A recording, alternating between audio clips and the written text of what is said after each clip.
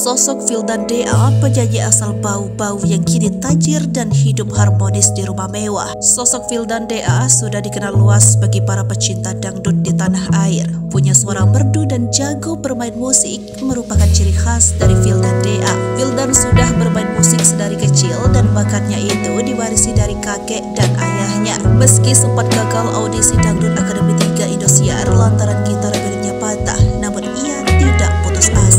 Vildan kembali mengikuti audisi Dangdut Akademi 4 Indosiar dan berhasil lolos bahkan menjadi juara pertama. Setelah itu, namanya pun semakin melambung tinggi. Ia juga berhasil merilis beberapa lagu seperti Terima Kasihku, Sajadah Cinta, Aku Pergi, Demi Cinta Suci, Salmiati, dan lebih dari selamanya. Kebahagiaan melimpah kini tengah dirasakan Vildan Rahayu alias Vildan Dea bersama sang istri dan kedua buah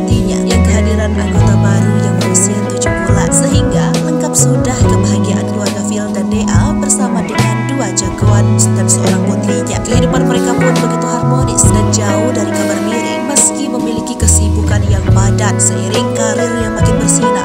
Phil dan tetap memiliki waktu untuk berkumpul bersama keluarga. Pria berusia 31 tahun itu begitu antusias saat menceritakan perkembangan ketika buah hatinya. Menikah di usia muda dan dihadapkan dengan kondisi ekonomi yang pas-pasan membuat harus bekerja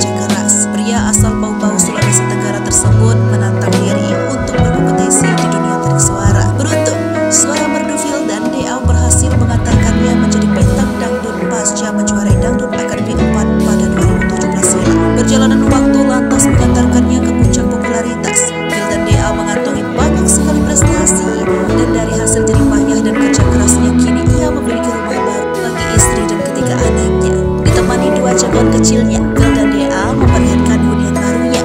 Anak-anaknya itu sangat leluasa bermain lantaran rumahnya luas dan nyaman. Kebahagiaan dapat terpancar dari wajah kedua jagoan Vildan yang tengah bermain di rumah barunya tersebut. Sebagai ayah, Vildan sepertinya sudah menjalani tugasnya dengan.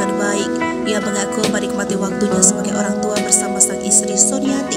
Ia pun merasa bersyukur bisa mencapai titik seperti sekarang, yakni mengangkat derajat keluarga. Suasana rumah baru Vildan DA dibagikan melalui tayangan YouTube Indosiar.